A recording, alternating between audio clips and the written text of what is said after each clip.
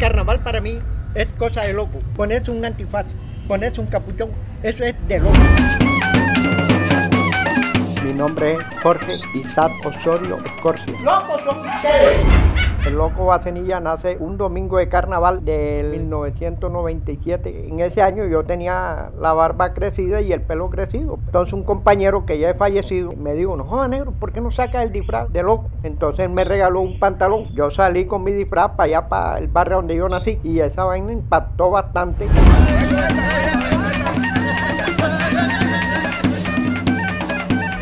Lo que más me gusta del, del carnaval el bullicio, la alegría. Uno pierde la tristeza. Disfrazarse es intercambiar cultura. Porque las cosas son como son. A mí no me va a venir usted con cuento. Soy el loco Bacenilla y Telecaribe es el canal del carnaval.